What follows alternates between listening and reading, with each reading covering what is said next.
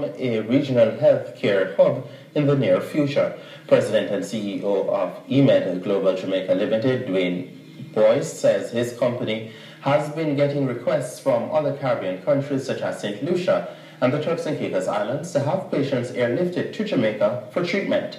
This as some cannot afford treatment in the United States. There's competent physicians in Jamaica and quality services, and those services can be rendered to people throughout the Caribbean region at a fraction of the price, and now we actually can make the connection with these aircraft and medical equipment. He was speaking this week at a presentation of the company's new aircraft interior, which was renovated to the tune of 150,000 US dollars. EMED has also added a new aircraft which will take passengers from one section of the island to the other.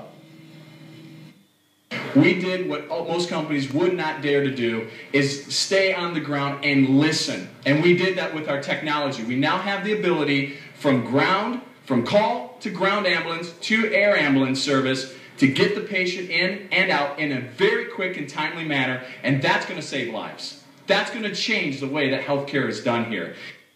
EMED is the island's only air ambulance company and has been operating in Jamaica since 2010. By early next year, the government should